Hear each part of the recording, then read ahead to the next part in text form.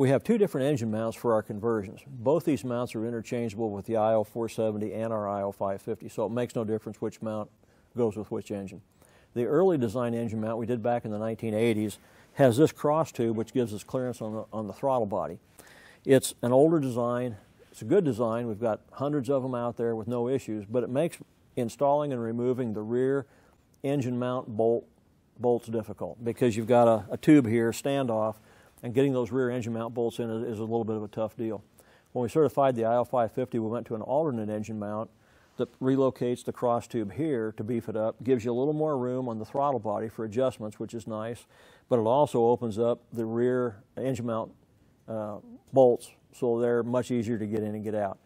AWI has done a lot of work for us. They've got our new prints, uh, so they can do engine mounts if you need one. If you have a local shop that you want to do an engine mount with, it's no problem. Have them give us a call. We can send a PDF on the modification. And, uh, and other than that, you need a totally stock engine mount if you've got a Canard because the geometry of the side frames and the clips depend on that stock engine mount. So that's that. And one other thing too, we also have a few Seaplanes West engine mounts out there.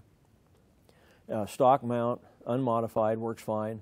And, uh, but with the Seaplanes West engine mount, it requires a special Canard spar that's compatible with that. So you're not going to interchange engine mounts with Seaplanes West engine mounts or Acorn now without rebuilding the entire canard structure up front. So my suggestion is stay with the stock mount. You'll be fine.